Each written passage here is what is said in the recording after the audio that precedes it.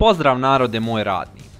Nakon što smo vam prije nekoliko mjeseci predstavili listu od top 10 jako loših Android telefona i nakon što je taj video prešao na prvo mjesto naših najgledanijih videa, vrijeme je da vam pokažemo još 10 super mega giga šatro sposobnih uređaja. Da, Očekujemo i hrpetinu komentara tipa nemate pojma, nije tačno, ne s***ite, ovaj telefon je super, želimo da vam nacrtamo i obojimo da je ovo lista napravljena na osnovu utisaka velikog broja korisnika, koje možete da pronađete na internetu, kao i velikog broja mjerodavnih recenzija. Tako da, spremite se da vidite 10 modela koji bi iznervirali vašu babu, koja samo zna da tapne zeleno, crveno i uključi lampu. Također naglašavamo da uređaji nisu posloženi od najlošijeg do manje lošeg ili sličnim sistemom. Jednostavno smo ih ofrlje nabacali.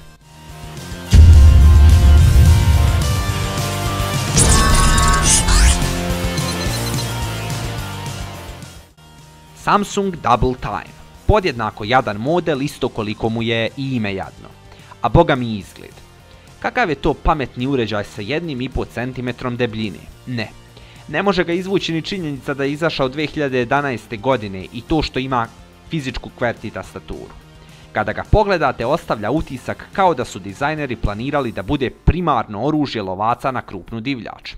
Dovoljno je iznijeti podatak da većina komentara namijenjena ovom uređaju počinje sa ovaj telefon ne može ovo, ovaj telefon ne može ono i sličnim.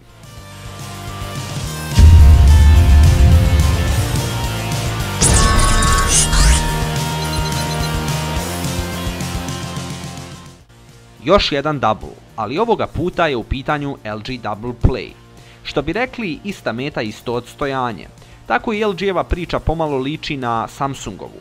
Ista godina, pomalo sličan izgled, ali ipak ne tako loše performanse kao kod Double Time-a.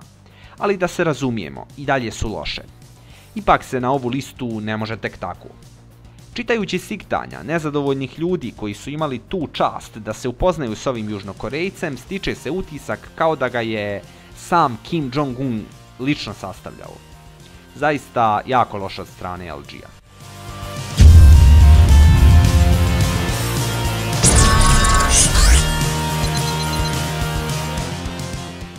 Vrijeme je da spomenemo jedan Sony jer čak i da su svi Sonyevi modeli savršeni, morali bi neki da navedemo, jer već kruže priče da nam je dotična kompanija sponsor, što je zaista glupost. Sony Xperia E. Na tržište izašao krajem 2012.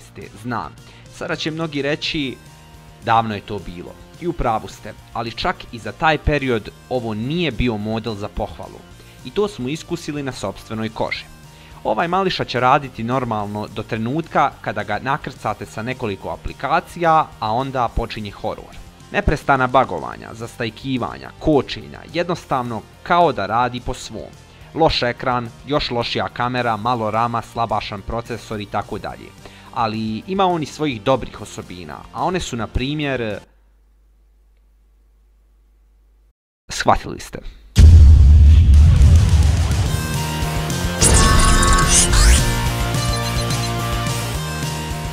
Kada smo već kod Sonija, spomenimo još jedan, a to je Xperia J. Slična priča kao i sa njenom mlađom i manjom sestrom. RAM i procesor su veliki problem, te su i performanse u skladu sa tim, što i ljude sa titanijumskim živcima dovodi do ludila. Iako se od kamere i ekrana očekivalo malo više, dobili smo djelimičan fail. Jednostavno, spisak žalbi je toliko dugačak da kada bi nabrajali, video bi trajao do sljedeće nove godine.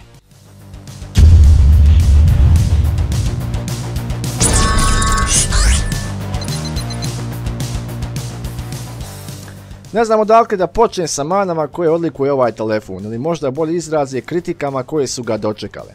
Sada ću da navedem neke od njih. Moj LG Vu se restartuje sam od sebe. Moj LG Vu ne prikazuje propuštene pozive. Moj LG Vu ne želi da pošalje poruku. Moj LG Vu ne može da otvori Google Play Store i tako dalje i tako dalje. A moja kritika glasi zašto LG uopšte izbacio na tržište ovu sramotu. Nemojte da vas zavaraju ove solidne specifikacije koje telefon posjeduje. LG Optimus VU izbjegavajte u širokom luku.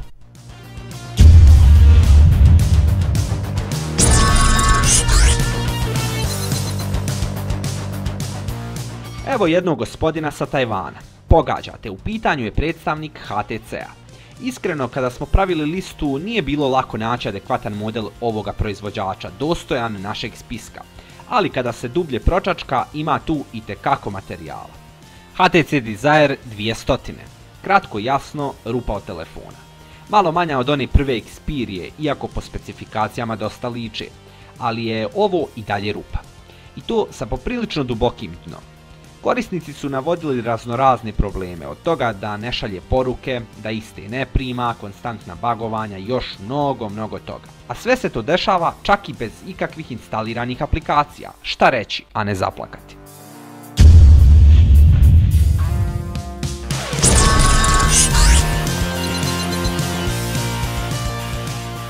Sve što sam rekao i naveo za LG Optimus VU se može slobodno prišiti i ovom ZTE-ovom modelu.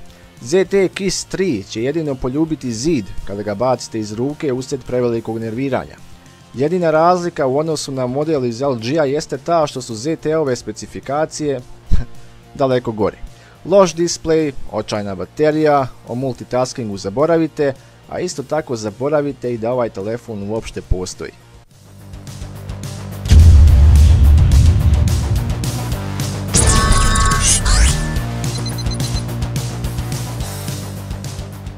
Samsung Galaxy Fit je još jedan mališan iz velike široke porodice Samsung telefona. Dovoljno je samo vidjeti rezoluciju displeja ovog modela i da shvatite da na njemu nećete dobro ni sad da vidite. Još jedna od ironija jeste samo ime ovog telefona, dakle Fit, što bi u prevodu značilo biti u formi, pokretljiv.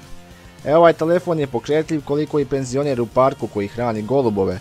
Na stranu to što je svrstan u low end klasu, ali ovo je ipak previše nisko.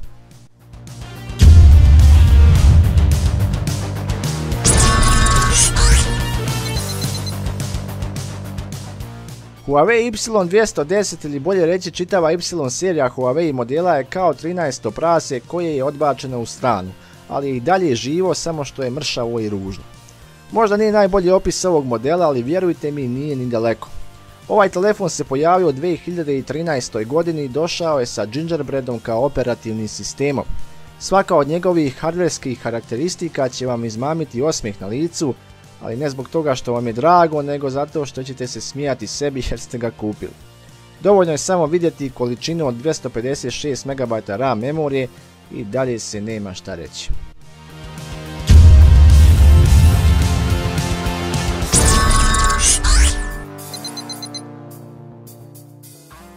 ZTE stvarno ima konje za trku u svakoj kategoriji, ali šta reći o Blade G? Sudeći po komentarima korisnika ovo je telefon koji ubjedljivo najviše baguje, a pripada hajmo reći pod navodnike novijoj generaciji telefona. Zbog velikog broja nepotrebnih aplikacija koje dolaze od strane proizvođača u sistemu, vi ste praktično ograničeni na jednu ili dvije aplikacije da instalirate sa prodavnice, a kada ih počnete koristiti tu bi onda dolazilo do pregrijavanja, do restarta i ostalih nepoželjnih stvari i to vam je kraj. Situacija postane mnogo bolja kada telefon jednom rutujete i uspješno uklonite svo to smeće, ali i dalje 512 MB RAM je premalo za telefon koga pokreće dvojezgrani procesor. Eto narode, bilo je to još 10 loših Android telefona, ali sada nije samo po našem izboru, nego smo, kao što je moj kolega naveo na početku, većinu ovih telefona uzeli preko vaših komentara i pročitanih recenzija drugih ljudi. Nadam se da vam se ovaj video dopada, ako je tako udarite like i pretplatite se na naš kanal. Pišite u komentare još neke modele za koje smatrate da su jako loši, pa možda napravimo i treću epizodu u kojoj ćemo sve njih da objedinimo u cjelinu. To je to, ostanite pozitivni, čujemo se uskoro.